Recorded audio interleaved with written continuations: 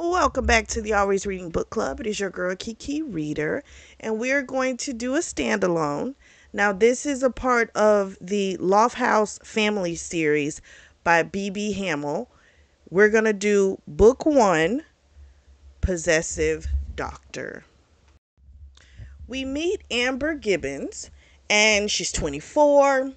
She's walking with a cane. She's going to physical therapy her father drops her off in his big truck. She goes in. The receptionist, I think her name was Rachel, uh, gets her information, tells her he'll be out in a minute. He, of course, super handsome doctor. She's a little thrilled by this. He takes her in the back, and we find out she's had an accident. She broke her femur really bad. And for about six weeks prior to this, like she was bedridden with a cast. But now she's at least able to walk with this cane. She'll take that any day over being bedridden. That was absolutely horrible to her. So he stretches her out. He asks her some questions. We find out prior to the accident, she was a runner, went every day. They have some flirty words, you know, him saying, you know, that he should run more, but with his schedule and stuff, but she's like, I don't see where you're missing any workouts, you know? um, he's looking her up and down. Uh, it, it's very much, I'm feeling my doctor, I'm feeling my patient. That's the vibe that they're giving. So they make it through some light exercises. They have some more conversation about like the time frame of her healing because she wants an honest answer from him. He said it really just depends. Like it could be a month, it could be a year. And she's like, no, tell me realistically. He says, well, honestly, if you do the exercises that I told you to do at home, you could be doing pretty good in six months. Not fully healed, but if you keep doing possibly within a year, you could be pretty close to normal, back to normal. And she's like, okay. I, I can deal with that. But she thinks to herself, you know, she doesn't know if she's going to do these every day. so she's got an appointment with him for the following week. She leaves out, makes the appointment. We find out a couple of things. He's a physiatrist, which I've never heard that word. I've just always heard physical therapist. But he's a physical therapist that went to medical school, so he's a physiatrist almost I want to say physicist. That's what I want to say, but it's not that. we also find out that this is his practice, like he owns this clinic. So as Amber leaves, um, you know, she makes that appointment with Rachel, the receptionist, and Rachel tells her, you know, you're really lucky because normally he's not the one doing this. You know, he was just filling in for someone today. He doesn't really work with the patients. Um, and she's like, oh, but he had told Rachel, like, I guess, let her know he's going to be her physiatrist. Like, he's doing this. So then she leaves out. Her dad's not there. He had texted her and told her he was going to be late. He finally shows up. She wanted to go back inside actually while she was waiting, but she didn't want to be embarrassed, so she just stayed outside, just waited um, in the in the shade. They live in Texas, right outside of Austin. Her dad pulls up in his big truck, doesn't help her get in, yells at her, tells her she's letting out the AC, so we can already see that he's a freaking trip. And she's just like, My bad, I have a broken leg. Sorry, it took me a little longer. So they're driving roughly in silence. She doesn't really talk to her dad. We find out that about 10 years ago, he struck oil and Gibbons Oil was born. And now he's like, if not the richest man in Texas, one of the richest men in Texas. And the minute I read that line, it automatically made me think about Dallas. Um, I grew up with that, watching that, my mom watching that. So I grew up watching it, and he just sounds like JR to me. Where my mind goes. like he's a total jerk. he, you know, it just that's where my mind went. So when I imagine it, it's like, okay, you get that type of money, that oil money, you know? Like I get it. We also find out he apparently is the reason that she had the accident. Now, we don't know what the accident was, but he apparently was at fault. So, when they get back to the house, or shall we say, when they get back to the mansion, he's like, Well, do you need some help getting out? And she's like, No, I'm fine. She's not trying to help him with his guilt. They don't get along too well, clearly, we can see. And she lets us know pretty much that when it comes to her father, this book does what I love just so much, which is pawn to him and his bigger. So plan. we switch to Brett's POV. It's later on in that evening. He's got a lot of administration work to do, which he really doesn't like. He does need to hire someone to do this stuff. Um, he, of course, doesn't do this job for money. He wants to help people. We find out that he comes for money. He really doesn't need to do this. But again, he loves to help. So he can't stop thinking about our girl Amber. And he looks in her file and he's got some concerns. Because based on the x rays and how she broke it, this doesn't sound like a car accident. Which is what her the file says. This sounds like this was a fall, like a very long fall. So he emails his friend Chuck that works at the hospital, who is the one that referred her over, and just kind of shot him an email saying, Hey, I got some questions about this. You know, it says car accident, but it doesn't line up. And then he says, you know, about maybe getting together for drinks X, Y, and Z. Well, it's close to 10 o'clock when he's about to leave, and he gets a response back from Chuck. Chuck is like, Yeah, I saw that too, but she was adamant that it was a car accident. Her father backed her up, and we were so busy and she was in so much pain, you know, we just want, just tried to help her. But yeah, something's definitely off. So now, of course, he wants to know the mystery, you know, what really happened to her. So we fast forward a week. She comes in. He, of course, has been thinking about her all week. She looks like she's in more pain. Well, we find out she's been doing the exercises, but one of them she probably shouldn't be doing. So he tells her, "Don't do that one anymore if that's that's causing you too much anguish. Don't do that." They do some some little exercises. She sweats a little bit because again, these are normally things that she wouldn't you know be sweating behind, but you know, she she has a major injury. So this takes a lot out of her doing this stuff. They have a little flirty moment. She kind of describes how she got stuck back at her father's house. She describes this as well. She graduated from, I want to say, University of Texas. And then after she graduated, she didn't really know what she wanted to do. And so she wound up coming back home. So she's just kind of been stuck. He's very upfront. And he's like, yeah, he tell he admits he was looking at her. He's like, You're a beautiful woman. You know? And she's like, Isn't that crossing the line? And he's like, Yeah, it is. Are you gonna report me? She's like, No. He said, Well, then I don't see what the problem is. But then he starts poking questions. He starts asking questions about the car accident. So he says to her, You know, your injury, it doesn't really go with like a car accident. He's like, the way that it broke, it seems like it'll be from something else. She immediately gets defensive. She's like, It was a car accident, and don't you call me a liar. so he's like, I was just trying to figure it out because it didn't make sense. And she was like, You know what? You're really inappropriate. Now you're calling me a liar. I'm not coming back here. He's like, Well, you need to come back here if you want to heal. I can help you heal faster. And he tells her, you know, you can call me an asshole, you can be upset with me or whatever, but I can help you. And so as he keeps talking, um, she comes down a little bit. He gives her his number. He's like, listen, call me anytime if you have any questions. And I think he said something what was it? It was something else he said or whatever. But anyway, he gave her the number.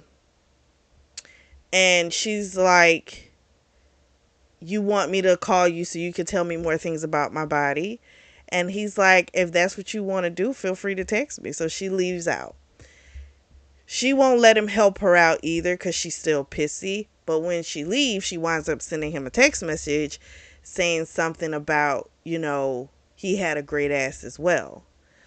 So he saved her number, but he definitely is like, he's going to get to the bottom of this because he knows something bad happened to her and he feels like she is probably still in danger. We switch back to Amber's POV and she's in the truck with her father. They're on their way to meet up with some prospects. So they're going to meet someone named Dave on his ranch and we find out that she is basically being pushed into an arranged marriage.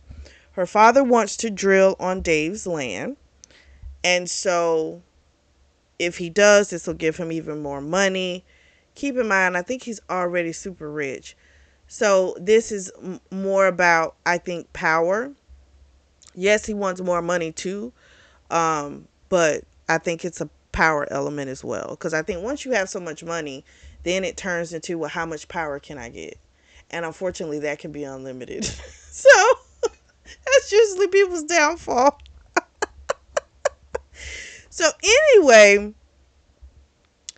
he tells her you know be nice you know we need this to work out all this stuff so this is their first time meeting dave the owner of the ranch and he's also the father of the guy who she's supposedly going to marry, whose name is Michael. They've been having all these conversations, but never face to face. Um, Dave and her dad, Samuel. So he, of course, still trying to sell the whole, you know, this is going to make our grandkids rich and all this type of stuff or whatever, which I don't think he cares about. It's more about how long his money is. You know, he wants a, a, a ton of money and a ton of power. But anyway, they get there and uh, Michael comes out. He just kind of looks like she describes him as he's not unfortunate looking. He's just kind of average. If he worked out a little bit, he would be attractive. So he's not hideous, you know, but he's not like he's not fine either. like the doctor is fine. He's like cut and tall and all that great stuff. Not that you can't be fine and short, but you know, in these books they tend to make everyone six feet tall. That's attractive. So the fathers go off, they're talking, and she's talking with Michael. So here's the issue Dave doesn't want to sell the land. He wants it to be family. So if they marry now, it's like, okay, if it's just a business that buys it, he, you know, anyone else can, you know, someone else can come in and, and swoop up and, and buy it again, or it can be sold, you know? But if they're family, then that means it'll always be someone benefiting on from, you know, on his side. So that's why he's the one that wants this marriage. Because he's not accepting just the funds from good old Samuel. So Amber's talking to Michael, and he's just like, Oh, you're hot. I didn't think you were going to be hot. I thought you were going to be fat and ugly. And then I wasn't going to do it, but now I'm into it. And he also tells her, you know, he's trying to make sure there's other concessions that are made on his end because he's not just doing this for his dad, you know? So she's talking to him, but she's bored, you know? So she winds up texting with our boy Brett. He's at work doing his administrative work, which he hates. So she's like, It sounds better than what I'm doing right now. This boring conversation. So Michael winds up leaving, going where the fathers are. And then she goes where they are. And basically, it's kind of set. Even though she hasn't said yes yet, They've made the decision that this is going to happen. They're going to get married. That's it. We already know what type of dude this Michael guy is. So it's like no one's tried to help her. Like she's walking with a cane and not once did he try to help her along. He just left her. You know what I mean? So we already see his character. He ain't he's trash too, you know? Now, based on what we learned earlier with the dad feeling guilt and that type of crap, I'm thinking the dad is the one. I think he pushed her down some stairs. If they're in a mansion, that means there's some high freaking staircases. I think he pushed her. I think that's why he's guilty. I feel, well, he feels guilty. And I think that's also why she's terrified because he's already shown her that he'll do anything to her. So if she's a problem, what would stop him from just getting rid of her? Like, I do understand why she has a clear fear of her father. I do. I feel bad for the girl. So we switch back to Brett. He's been texting with her. They're kind of going back and forth. He's scheduled to see her the following day. She tells him um, it was something about uh, a, a dream. She had asked him about, you know, did you dream about me in the text messages? And he says, I did, but I can't tell you because it's dirty. And she's like, Well, dirty's my favorite kind. You got to tell me now. So he tells her basically what they were doing. They were exercising, they were fucking in between doing exercises. Very erotic. So then he was like, you know, we can't talk about these text messages tomorrow. So he he's like, you know, I won't say anything about them when you come in. We just will act like these text messages didn't happen. We'll leave it at that. Okay, cool. He goes on for the rest of his day. He of course is still thinking about her. She comes in the next day and she's just a little awkward. He winds up turning away from her for a moment because he was having like such a dirty like such dirty thoughts. And she was kind of like you're not getting she was about to ask you're not getting hard are you? But she couldn't she didn't finish it. And they kind of laugh and that broke the tension. So then they were good. But then he decides to ask her. He's just like you know you can always talk to me she's like don't start this again he's like i'm just letting you know that i'm here he's like, if you're not okay, you can let me know. I want to help. I can help you. She just says stop, but she doesn't get as pissy as she did before the last conversation, you know? He does say to her, he's like, Do you want me to stop texting you? And she's like, No, don't stop texting me. And he's like, Okay, that was just a test. Um, so she's not mad. And then this time, when it was time for her to walk out, she does let him help her, um, which is again a good sign. She's not as mad as she was the last time. But again, for him, he definitely wants her. He's gonna figure out what happened. Um, but he's trying to do everything, like have her and figure out everything without losing his medical license. I was like, yeah, you got a lot to overcome. We switch back to Amber's POV. She gets up the next morning, heads downstairs. Her dad tells her everything's been worked out. She's going to marry Michael. And apparently, Michael has again worked in some concessions for the two of them. He's like, he's smart kid. I thought you would have wanted to have done that, but it doesn't matter. Everything's set now. Well, she starts panicking because she's like, I can't. I'm not doing this. And he goes, Oh, yes, you will. And he grabs her arm and he says, You know what happened the last time? He's like, he's coming here later with the ring. You better accept it. You better not embarrass me. This deal is happening. She can smell the whiskey on his breath, and it's like in the AM. So he leaves because he's got to go to work. She goes upstairs to her room. She texts Brett and says, I need to see you like now. Are you available? And he's like, Yeah, just um when can you get away?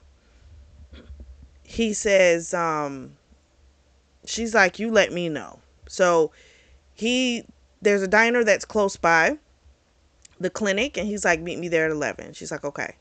So she doesn't have a car, but she'll get an Uber so she can go and meet him. So she gets to the diner. He calls her name. She doesn't hear him. So when he comes up behind her and grabs her arm to help her, she jumps. He helps her inside. They sit down. And he likes this place because it's not too crowded, plus it's close to the clinic. And he clearly knows something's happened. She wants to talk, but she's clearly nervous. And she's like, You might not, she's, you know, like, you, you're probably not going to believe me, but it all comes spilling out. So she tells the whole story. So a few months back, her dad saw this ranch, aka Dave's Ranch, that he thinks, based on some uh, geologists, there's oil that can be drilled. But after offering the Dave guy a slew of money, the guy didn't want it. Um, they found another way to tie them in. So he came up with the idea of the kids getting married. And so she tells him, you know, I met him. That's where I was yesterday or the other day. And she tells him, you know, the Michael guy, he's not too unfortunate, but at the same time, I don't want to get married to him. And so Brent's listening to this and he's looking agitated. He's like, you shouldn't have to marry him unless that's something that you want, you know? And he says, Tell me what happened to your leg. So she tells him, Her and her dad have been fighting about this whole marriage thing for a while. She says that it came to a head one day and she told him, I'm not going to do it. Like, I'm not marrying this guy. And she had gotten halfway down the stairs and her dad kicked her in the back and knocked her down the rest of the stairs and that's how she that's how she fell. That's how she broke her femur. So Brett's like we got to go to the police you know? X y and z. She's like we can't do that. She's like if you do that i'll say it never happened. He's like why are you trying to protect your father? She says he knows people in the police department. He donates to them. He's got friends. I don't trust anyone in the police department so Brent tells her, I'll protect you. She's like, I can't ask you to do that. He says, You're not asking me. I'm telling you what I'm going to do. He says, um, People I want, I protect, and I want you. And so he tells her, you know, he's he, you know, he wants to get her away from that house. Like she needs to do it ASAP but she's more than likely going to go back to that house because I don't know, I guess where is she going to go? But he tell he did tell her if you ever feel unsafe, lock yourself in your room and call me. I'll be there. Again, she's like I can't ask, you know, you to do that. He's like you're not asking me, I'm telling you. So they eat a little bit. He's pissed while they're eating. It's like he has this rage because he's clearly very upset from what she told from what she told him. And it's the idea that he physically the father physically attacked her and now he's trying to push her into something else. It's just uh it's just irking him. So he's got a truck and she's like, "Really? You have a truck?" He's like, "We're in Texas." She he's like, "I think they give them to you when you when you come here, you know." So he winds up kissing her before she gets in the truck. She of course loves it. Um, it's kind of like that last threshold they hadn't crossed, and now she kind of feels like, um, I don't know it. Will he stick to protecting her? You know, she hopes that's what he'll do. Um, but regardless, she gets in the truck and he's still gonna wind up taking her home. I guess I should say taking her to her father's home. so we switched to uh, Brent's POV. He's fuming, you know, with that story he heard. He's trying to figure out a plan because this is crazy. They text, he's like, you know, do you have any friends that you can go maybe stay with? She's like, they're all out of state. He says, what about family? She's like, not really. He said, okay, I get that. I have a family too that they're kind of odd, you know, that type of thing. So later on, he gets a phone call from her and he can hear the yelling in the background, pounding on the door. And she's like, he found our text messages. She's like, I locked myself in the bathroom and he's trying to get in here. And he's like, Is there any way for you to get out of the bathroom? She's like, There's a window, but I don't know if I can do it, you know, with her bum leg. He's like, Well, send me your address right now. I'm coming over. I'm going to ring the doorbell to drive him away uh, from the bathroom door to give you some time to get out. So he gets there in about 10 minutes and uh, rings the doorbell, bams on the door. Finally, the father comes to the door and he's like, I know you. What do you want? And he's like, um, I came over to talk to uh, Amber about some CT scans, and there were some concerns that we found, some shadows. And he's like, What? He's like, You mean like cancer? Is that what it could be? And he's like, It could be, or it could be that something didn't heal correctly. I don't know. So the father goes to get her, goes upstairs, thankfully, the whole time he was talking to the dad, because he kind of drew out the conversation, I just made it really short. Um, uh, while he was doing that, that was giving our girl time to get out, and he could see in his peripheral that she had gotten out and she was working her way to his truck. So he walks off and is helping her get into the truck when the dad comes back to the door and he's like, I can't find her. Then he yells because he sees her. And the Brent yells out something like something about something calls him a motherfucker or something. And he gets her in that truck and he jumps in and they peel out of there. Again, he's boiling with rage. She has her hand on his arm and she's like, It's okay. You know, it's okay but she's like she knew she she knew he she couldn't stay there you know this was clearly only this is just going to get worse he knows it too i don't think he wanted to drop her off there earlier anyway this is clearly going to keep escalating with her father you know and he tells her i'm going to protect you i told you i would protect i protect what i want and i want you he's like well get your clothes and toiletries and everything else but you don't have to worry about money. You know? And she's like, I mean, I know you're a doctor. She's like, but he's like, I told you, money is not an issue for me. I come from a odd family, but we're well off. So I am very curious to find out about this family. Like I'm wondering, are they in the oil business? Like what's really going on? I'm so curious. Um, but he's he's gonna take care of her. But I am concerned with the father because the father saw her getting into his truck. What you know, I'm sure he's gonna report the guy to the medical board for some type of inappropriate behavior. Something. You know he's gonna do something. That's my little concern. We switch back to Amber's POV. They pull up to his place. He has his cabin. It's like off in the cut. And she thought he would have been in like this apartment condo type of thing, you know? But he says, no, this is home. So they go inside. It's nothing like the outside. The inside is very modern, you know, absolutely amazing. He gives her a little tour. He winds up carrying her upstairs. And there's a guest room. Um, and they're talking about the fact because she had made a comment about him having like a bunch of women come through here. And he was like, honestly, you're the first person I've ever brought here he tells her, you know, back in the day, I could do stuff like that. You know, I was younger, it was easier. He's 34, by the way. Um, but he he's like, but he doesn't do that now. So then there's a bam on the door. She hears her father's voice. He goes to the door. The first first, I'm sorry, the father tried to call her phone. She saw it, but she didn't answer it. Then they heard the banging and then the hollering. So Brent goes to open the door the dad's like, she's coming with me and all this crap. You're her doctor. This is unethical. All this type of shit. And he, um, Brent is like, she's not going anywhere with you. And she's like, yeah. She's like, I'm not going with you. And so then Brent grabs him, puts him up against the wall, and says, Did I invite you into my home? He's like, and te- Texas has wonderful homestead laws, you know? so the dad kind of seems a little fearful with Brent. And Brent lets him know, I know what you did.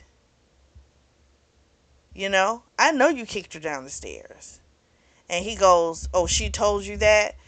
She's just a little liar. He's like, Nah, she's not. So then he's yelling at her, You need to come with me now. She's like, No, I'm not going anywhere with you. Um, I think seeing someone stand up to her father definitely gave her some strength, you know, somewhere to pull some strength from because she was absolutely terrified of this man. You know what I mean? But seeing that Brent has no fear of him and is determined to keep her safe, I think it helped her say the stuff that she said to her dad when she yelled at him was like, "No, I'm not coming with you." You know, that's not happening. And so the father realizes this is not a fight he's going to win today, but he does tell them both of you are going to regret this. And he did talk about reporting him for violation, unethical shit, and all that type of stuff. And he says this is not over.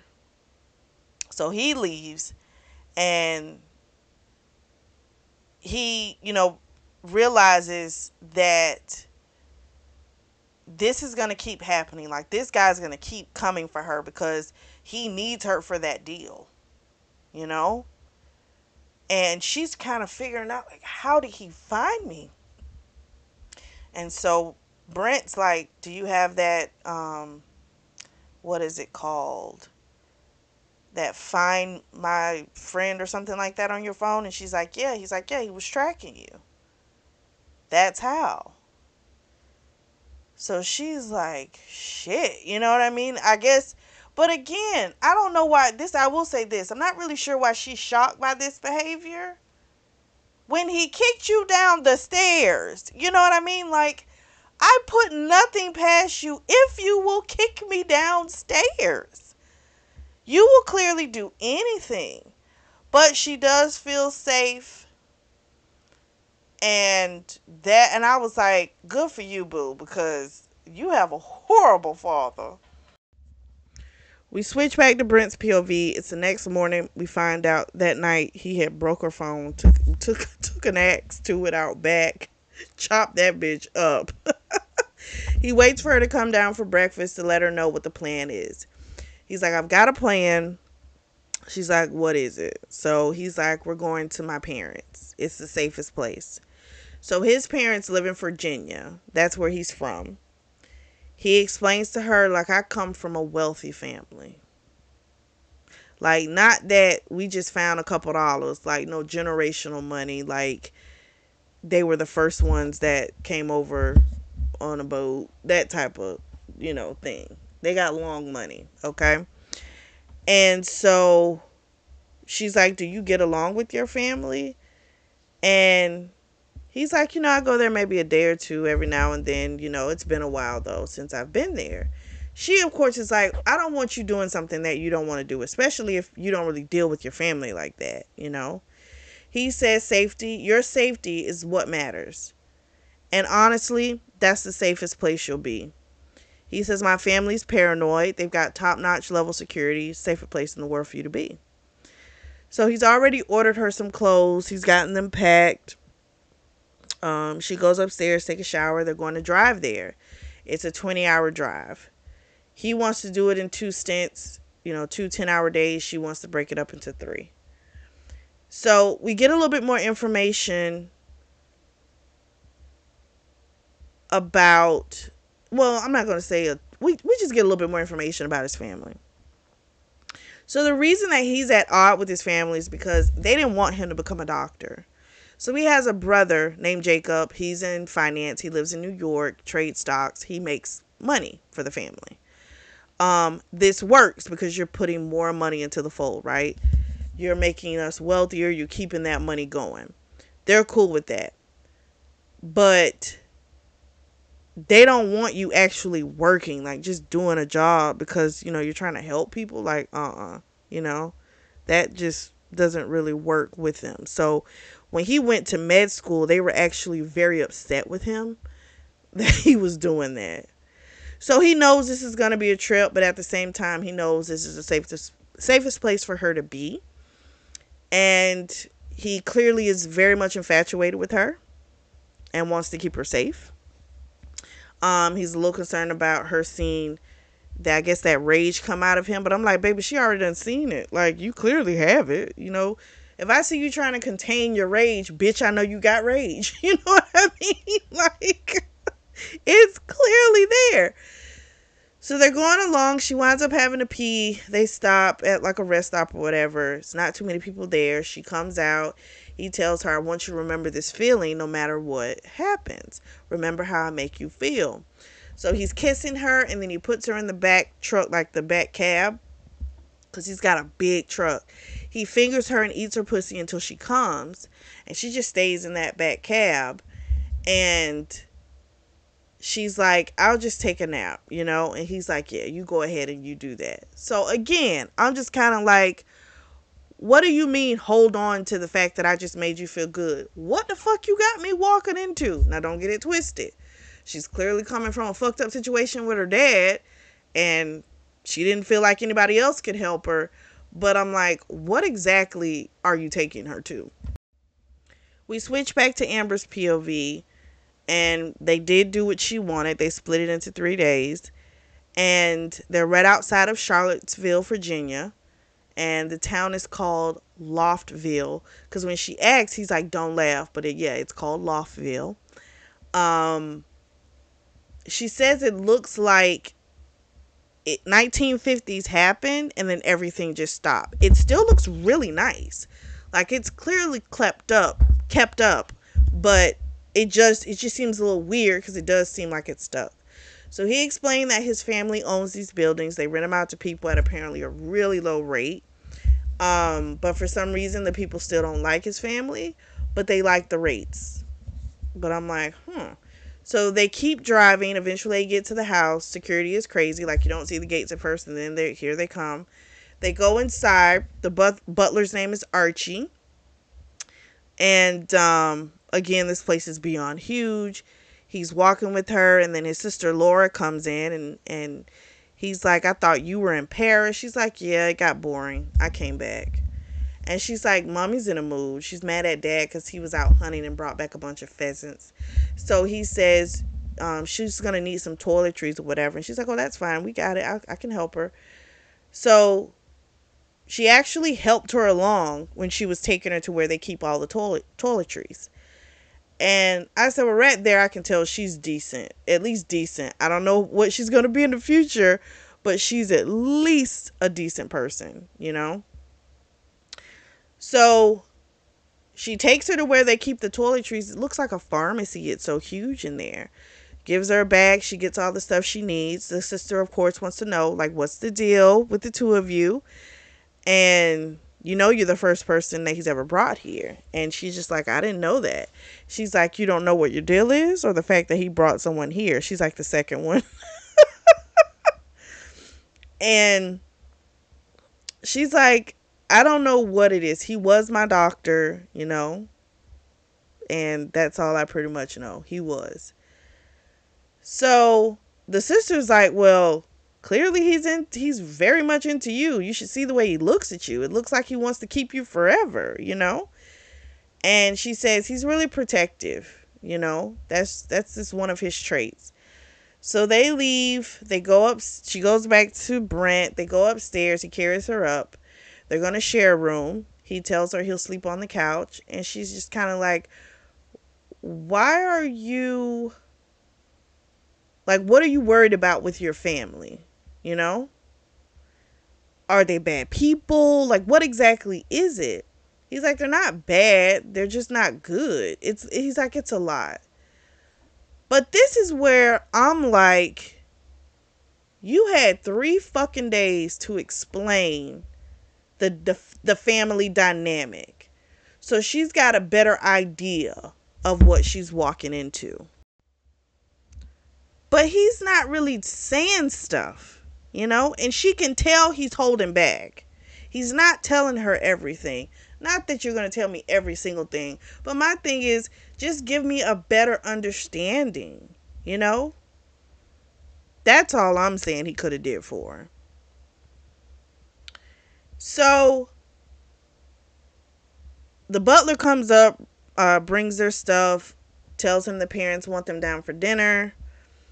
So um everyone it seems like everyone kind of lives in this house given very much dallas dynasty okay everyone lives in this in this home and so she just kind of I don't know. She she's she's nervous, of course, and he takes a nap and she takes a shower. But before she takes a shower, she just kind of cries. You know, just kind of lets it all out, everything that's happened these past couple days, and for what she's possibly about to walk into. So we switch back to Brent's POV. Um, as he was waking up, she was coming out of the shower. He, of course, is ready to pounce on her, but he doesn't. He does tell her, like, wear something nice. It's like formal. That's how they do dinners and stuff like that. Um, he puts his clothes on. He's he was naked. He just put he was naked and he just put them on in front of her and, and they almost fucked, but they didn't do it. They go downstairs. The parents are already there because they're ready to meet her. The mother's staring at her. The father's pretty. He's jovial. You know, he appears, you know, to be pretty lighthearted. He had made a little uh, joke about the cane, how he, sh- you know, man of his age should have a cane and a top hat. And she was like, uh, Amber goes, I think you can pull it off. You might be able to pull it off, you know. And the mother's like, oh gosh, don't start that, you know. And then his aunt and uncle, Louise and Ronald, come out. Louise has she's never worked a day in her life, um, but she knows everything in the world about purses, the history of them, everything. She doesn't shake Amber's hand or anything. She just kind of throws up a little a little wave. Eventually, the mother asks her, "What does her family do?" And she says what her father does and she says, you know, they're not getting along right now. And the conversations it gets a little weird, but then eventually the conversation moves on and he eventually gets her out of there and she says, you know, what did I do? And he says, well, you know, we really don't talk about money and family troubles. That's just something you don't do. But she was like, but they were talking about the money that they donate to charities and stuff like that. And he said, yeah, but that's them giving money to people, but not them talking about their actual wealth of what they do. But it's like the fucking mother asked her, what does her family do? And she told him. Now, did she have to say, me and my father aren't getting along right now? No, she didn't have to say that.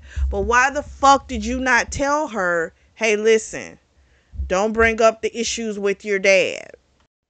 He's all like, you know, they look down on stuff like that. But again, why didn't you tell her? You could have prepared her for that. It could have been a two minute fucking conversation, you know, where you could have told her, listen, you can say your dad works in oil. Um, don't say anything about the fact of what's going on between you and your dad. My family doesn't really like to talk about family issues. That's not even two minutes. Okay? But he didn't even do that. He didn't even do that.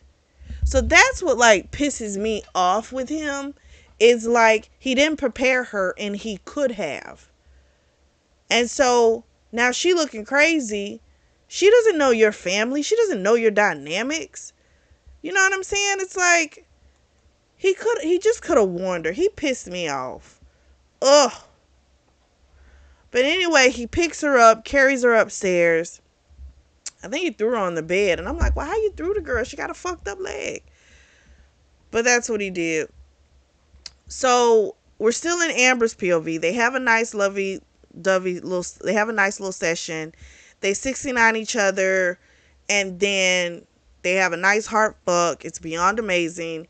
He, of course, is saying to her throughout it, like, you know, you're mine, and she's like, yes, I'm yours and um, she's never had sex like this before, so she's a goner. He tells her, you know, I can't wait till you get better, because then that's when the fun will really begin.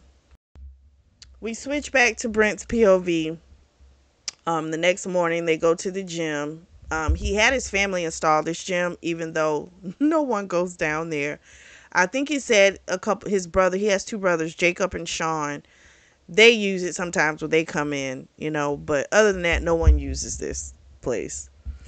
So she asked him, she knows what Jacob does for a living. She asked him what Sean does, but he wouldn't answer her. Then it became something about, um, she said something to him about bringing girls here. Um, he had to, he should have been like a babe magnet, you know, And he's like, well, kind of hard to do that when I went I was in boarding schools throughout the year and I only came here for summers. And he's like, now when I was away, that's when I had on my phone with different women. And he's like, but you know, those women just prepared me for you or whatever. Cause he asked her like, "Are you getting jealous?" And she's like, "No." She's like, "Not if you're not jealous that you're like the hundredth man I've before me." And he goes, "Okay, I am getting jealous. You better be kidding." Um, all this type of stuff. So then they have a hard workout, and then Laura comes in and she's like, "I saw something and I wanted to tell you all about it."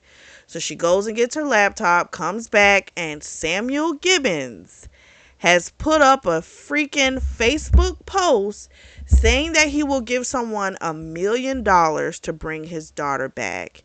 He put Brent's full name, Brent Lofthouse, saying that, you know, this guy seduced his daughter, he's unethical, all this type of crap.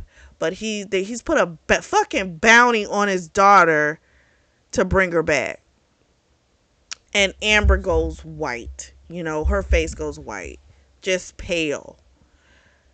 And she's like, I just thought you should know what was going on. She's like, you know, mom and dad are not going to like this. They don't like their name out there like that. He's like, I know. I'll handle it. I'll handle it. So they did tell the sister about the fact that the father was the one that did this to her because Amber got so pissed. She's like, he's the one that did this to me. And now he's doing this, you know? And so she's like, What if your parents make us leave? He's like, Don't worry about it. I'll handle it. All this type of stuff. But he's like, In order for them to help us, we are going to have to tell them everything. And I'm just like, This is a mess. But again, I'm not shocked. I knew that dad was going to do something. I just didn't know what the hell it was going to be. But I knew he was going to do something because he wasn't going to let that girl go away that quickly, that easily, shall I say. So Amber decided she wanted to go for a walk. Brent, of course, was like, I'll go with you. She's like, No, I just need to be by myself. I need to get my thoughts together. And you said exercise will be good for me. And so he tells her about the path that's along the property where he can see her. She'll be okay. Um, and if she yells, he can hear. So she goes, she's thinking about everything she knows her dad isn't going to stop. You know, the crazy part is if she was kidnapped, he wouldn't pay a million dollars for her. But he's paying a million dollars now because her value, he needs this deal to go through, which is going to make him more money. So she's getting ready to do a second walk and she hears rustling.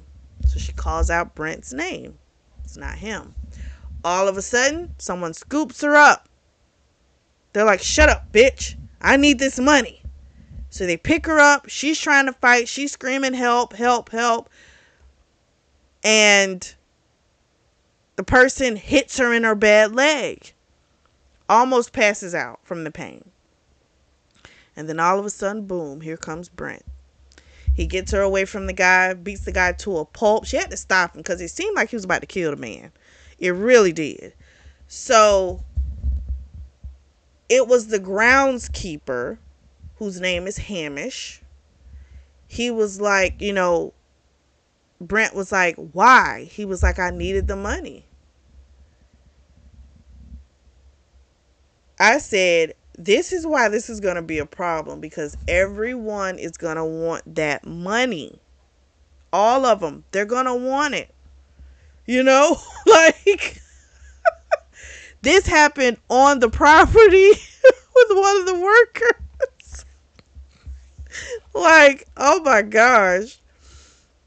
He also made a comment um, before when she kept saying, you know, she's like, don't kill him. He had made a comment, it wouldn't be the first time we got rid of a body on this land. So, again, this place, these people have got secrets, um, clearly, for that comment to be said.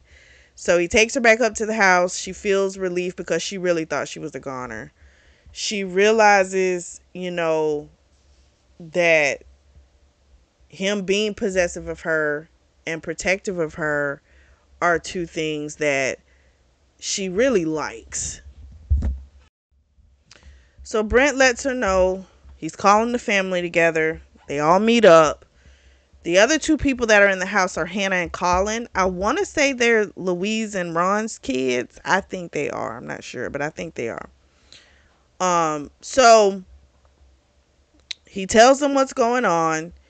He doesn't tell them that the father knocked her down the stairs because she didn't want them to know, which I feel these you want these people to put themselves in harm's way, then they should be told everything. That's just my opinion.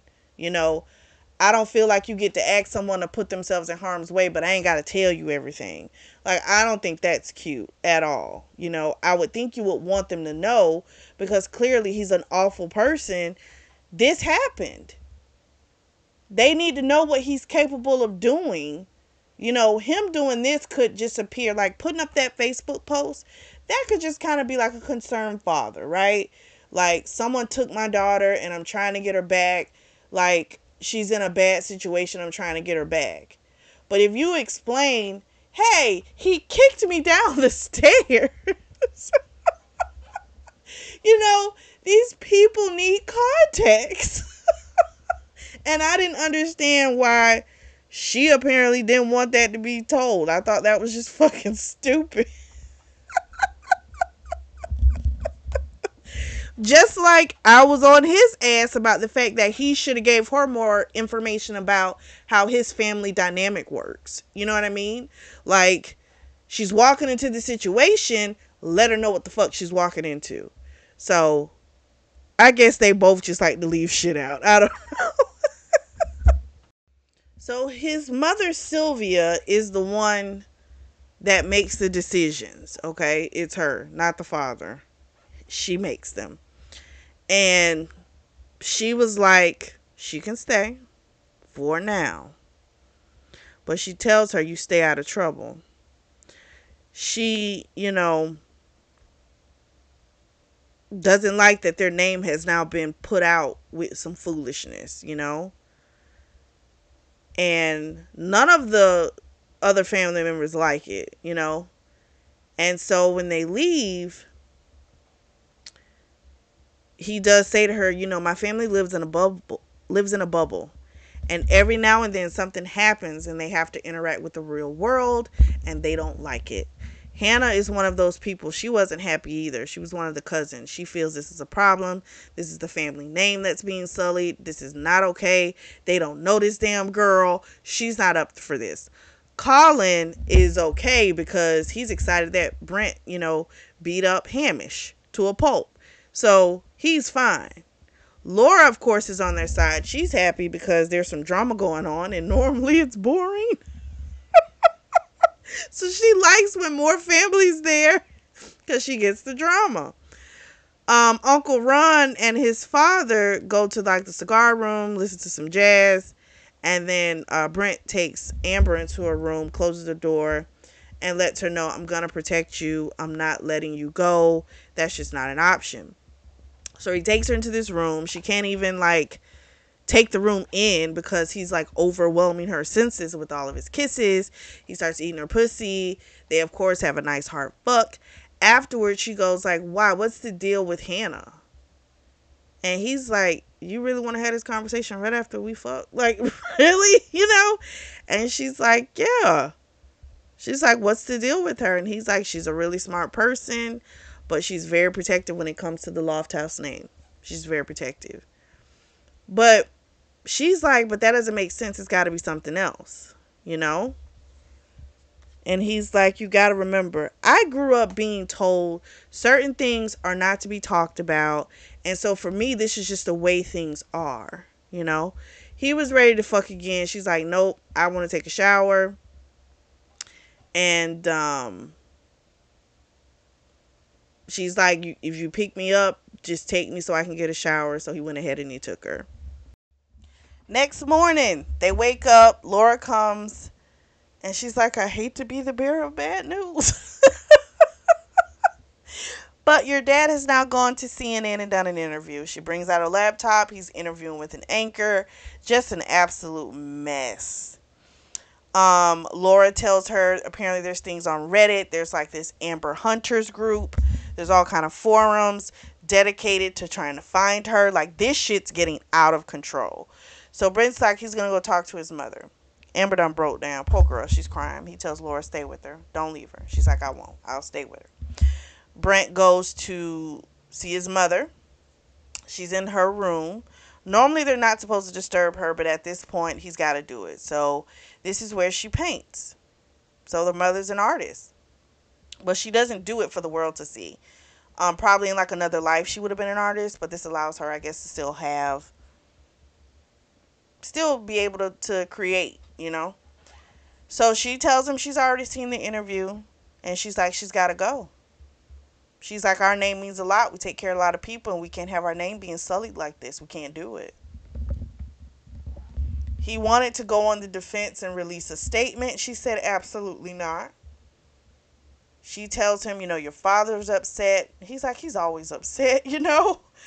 But he's like, which I was like, no, he's not. He's a, he seemed to be pretty jovial. But then again, this is just our first time meeting him, so we don't really know how he is.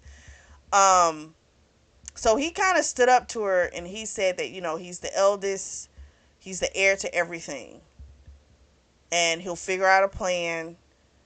X, Y, and Z. Because the mother was like, I'll have security escort both of you out. But he knows, I think there's certain things his mom might not cross because she doesn't want to lose him forever. And I think she kind of knows this is something that could push him away for good and she clearly doesn't want that.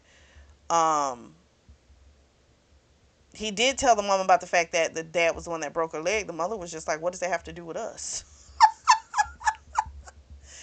she can see he's in love with her, she's like, You probably don't even see it, you know? But I know you're in love with her. But again, that doesn't have anything to do with us. Amber notices that uh, Brent seems like he's in a lighter mood when he came back from his mom, but he wouldn't go into any details about the conversation. So she's assumed, okay, everything's going pretty good. She gets hungry, she goes downstairs, asks, um, oh gosh, what's his name? I think I think the chef's name is Dorian, if I'm not mistaken. She's gonna go downstairs and ask Dorian for something um, to eat. And before she leaves, Brent says uh, there's been a little change. Well, she goes outside and there's two security guards, Patrick's and Johnson. So at first she was mad, but then it was like, you know what? It actually does feel safer. So she goes downstairs. The chef ye- the chef yells at her, but he makes her an omelet. It's the best thing she's ever had. The chef's happy with her reaction. He leaves. So then she thinks it's the girl that brought her the tea, but it's not. It's Sylvia coming in to talk to her. And they have a conversation, and Sylvia tells her the truth. She doesn't want her here. And that she needs to do what's right. She tells her the story of how when she was 19, she had loves and she had friends. And when her father came to her and said, You're going to marry a Lofthouse, that's what I did. So she knows about the arranged marriage. She said, I've made calls too. I have ways of finding out stuff. And she's also found out that her dad, Samuel, has been calling around trying to find out about the Lofthouses and trying to get more information about their influence. And she can't have that, you know? And so her mother's like, he's trying to fracture something that's been in place for too long. Can't do it. Um, she's honest with her. She wants her to go, and she needs her to make the right decision. So Amber's confused because she doesn't want to leave Brent, but she doesn't want to stay here knowing that the mother doesn't want her here. And on top of everything, you know, it's like if you if you stay like this is going to cause a strain with his relationship with his family, which is already strained. You know what I mean? But then going back to her father feels like a hard no too. So she's just between a rock and a hard place. Brent knows something's up with Amber. She's not talking. She's reading a book, but she will not open up to him. So he winds up fingering her, making her come, and then they talk. So she tells him she talked to his mother. She knows the mother doesn't want him, doesn't want her here. Um, and she's like, at any moment, she could just kick me out.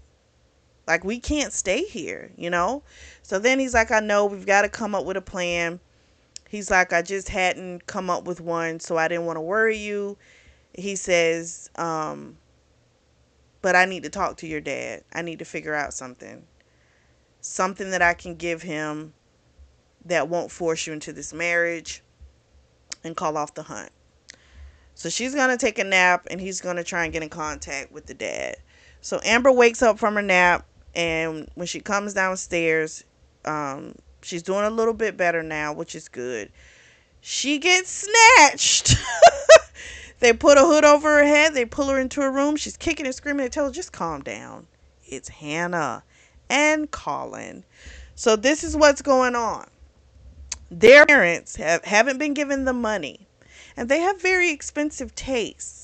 And so because they like they're like the black sheep of the family, they're not like the golden children. So the five children that Sylvia had, those are the golden kids, okay?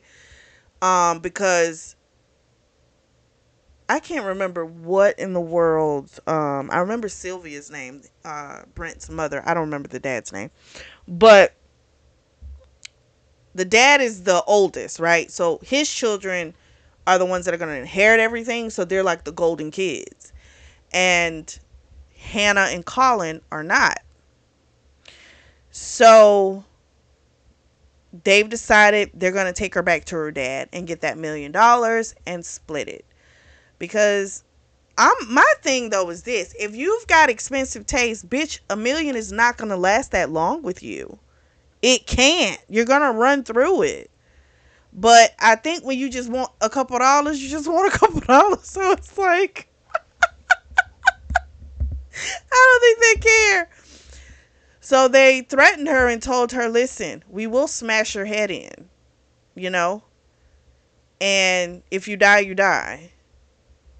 We find out they sent her security away saying that Sylvia needed them. And Brent, I guess, I don't know, I guess he was on the grounds doing, looking at security stuff or whatever. Um, so now they're taking her out. She's not kicking and screaming, and they put her in a vehicle. Brent, of course, is like, What do you mean you lost her? So Patricks and Johnson say, Well, when we came back to check on her, she was gone. We went to go check on Mrs. Lofthouse. And he's like, Who told you to do that? Eventually they admit it was Hannah and and Colin that came to him. And so now he knows that's who have her. Well then he also finds out because Johnson just tells it all, honey that trackers have been put on everyone's car. Whenever the family comes into town, Sylvia has security put trackers on their vehicles. And he's like, and who over who looks over that? Sylvia. And guess where her setup is? In her painting room. So they find out where the vehicle is. It's in town. They get there. He's like, there's apartments above because there's like a laundromat and different stuff. And he's like they've got to be in one of those. He tells patrick and johnson you guys stay down here. Make sure no one leaves. He goes upstairs knocks on a woman's door. It's an older lady. She knows these two. They're the youngest people that live in that building and she says they're assholes. So she tells them tells him right away where they are. So he goes knocks on the door. He can hear Hannah and Colin. Colin's like, it might be a package. And Hannah's like, did you order anything? So Colin opens the door. Brent punches him right in the face, kicks him a few time, times. Hannah screaming. She's like, You don't understand. We needed the money. So he's like, Where is she? Where is she? Where is she? She's in the back room. So he goes and gets her. Hannah's like, We can't let you take her. We need the money. We've got a lot of debt. And he's like, You could have just asked, you know? She and they were like, We don't have access to money like like you guys do, you know? And so he was about to punch the mess out of Hannah, but he didn't do it. he wasn't gonna hit her. but he scared the shit out of her. he was just pissed. He's like, "You gonna take her back to the her abusive father?" They were like, "We they ain't got nothing to do with us. They just needed to get the money, you know." So they leave out, they get back down, and boom, guess what? Patrick pulls out a gun. Patrick's like, I need that money. I don't care about this job. So Johnson wrestles and gets the gun away from him. Nobody got shot, even though the gun went off. Patrick's is is um like, you know, why are you helping these rich people? They don't care anything about you. And Johnson was like, I like my job.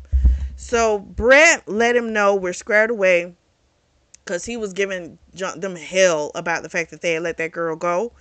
Um, but letting him know his job is safe. You know, you can keep your job, no problem. So as they're leaving out, they see a big black truck and it's the dad. And she's like, oh my gosh, just a few more minutes and he would have got me. But Brent was like, this got to end. This has to end. Like, he's got too much money and he's just going to keep coming after us. Brent goes back to the house. Him and Amber, um, they're talking with the mother and father. The mother is the one that handles, again, everything. She's pissed off about Hannah and Colin, and she's like, they're going to have to learn their place. So she's going to get in their ass. So then he told, so then um, Brent told the mother, I need a favor. She's like, What? He's like, I need a loan. She's like, You have plenty of money. He's like, No, I need a big loan. I'm going to need to make an offer.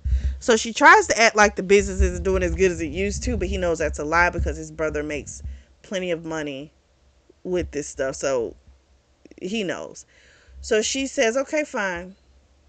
You can have however much you want. You don't have to pay it back, but here's the stipulation you have to move back to Virginia. You don't have to stay in this town. I get it. But you've got to live in the state of Virginia. You have to visit us at least twice a month. We need to see you more. And he says, Deal. The dad's happy because he's like, It would be nice to see you more, you know, and stuff like that. Amber's like, I can't let you do this, you know? She's like, I know how much happiness it brought for you not to be with your family. Like, you can't do this for me. He's like, it's done. So they booked some plane tickets back to Texas. Um, and they head straight to Dave's ranch or David.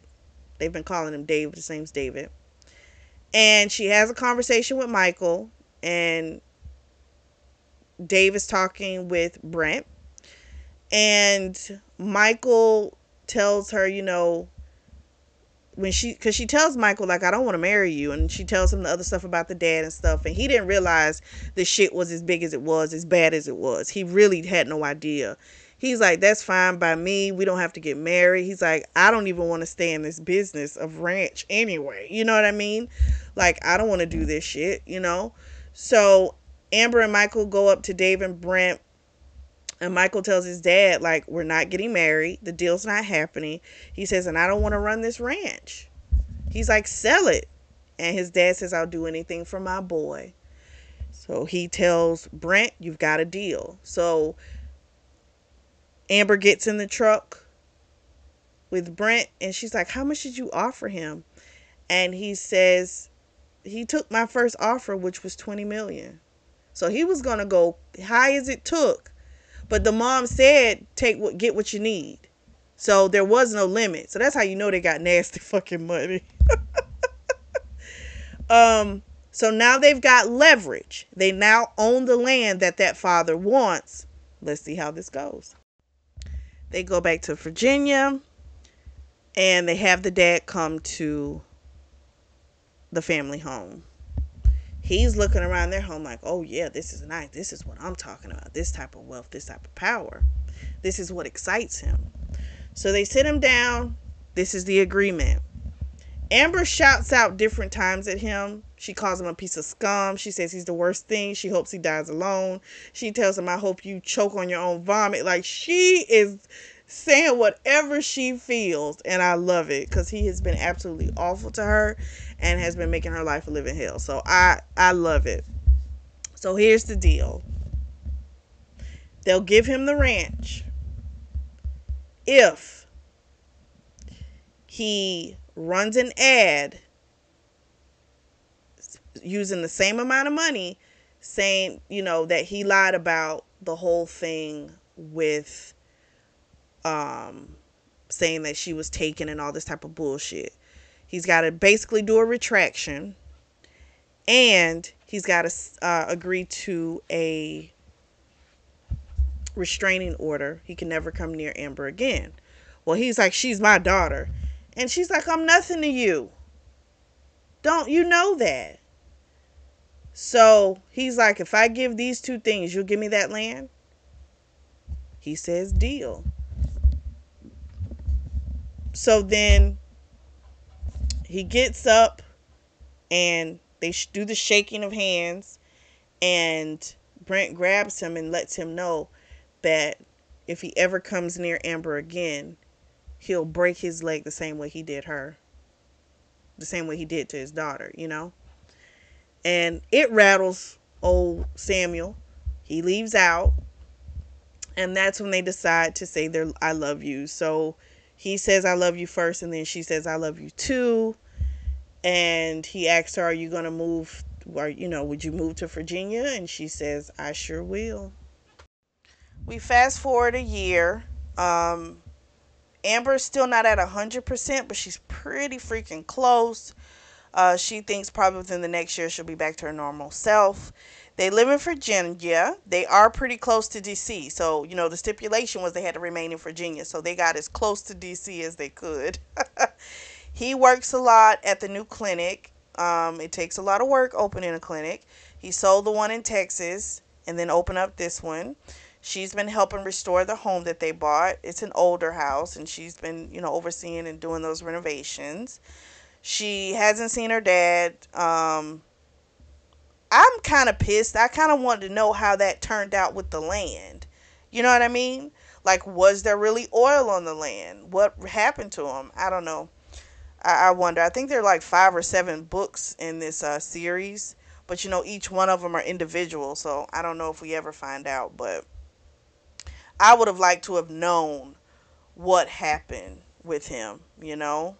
I don't know. I just would have liked to have gotten that.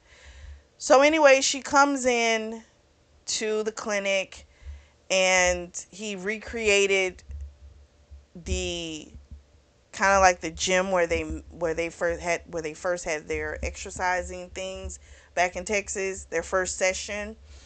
And he lights it up with candles and stuff and he asked her to marry him. She, of course, said yes. They're going to do like a ceremony for themselves at City Hall and then like a family one, you know, a big shindig at the Lofthouse. But he's fine with that. At least they'll have their own moment. Um, they go to the house, the family house, probably about once a week, you know. They have their lives, their separate lives, and it's been working out and he carries her up so they can start expanding their family and that's how it ends so the other books are going to be about the other family members. So again it's a it's, it is a series but it's individual stories. So i thought this was a pretty good starter. So if you guys want to jump into that series feel free. I think it'll probably be pretty good. I'll do that on my own time. Um what did you all think? I really liked it. Um there's always going to be some character that will annoy me. it's bound to happen. But I liked, I, I just want to, I do want to know more about that family because they clearly have a lot of secrets. And that's why I think doing, reading the other books, I, I, won't, I won't do them on the channel, but I think it'll probably be fun for us readers to read those other books to find out what happened with his family because they clearly are hiding some things. Um, but I really liked it. I thought it was cute. It took a turn I didn't expect. Like it's called Possessive Doctor, so I'm like, okay, it's probably a patient. He's gonna fall for someone. I figured that part. The part about her father pushing her downstairs and you know putting up bounties like yo i didn't see that that was like what and then the siblings, well, the cousins actually, they were cousins, um, trying to kidnap her. Like I didn't see that either because I thought, you know, they're so wealthy, everyone has access to a good amount of money, but clearly they had been cut off and they were desperate. So that was a, a wild twist. But let me know what you guys think. Drop down in the comment section and let me know. If you are in the market for a beautiful notebook or journal, I do have those available, and the links are going to be available down below in the description section. Make sure you like and subscribe and share.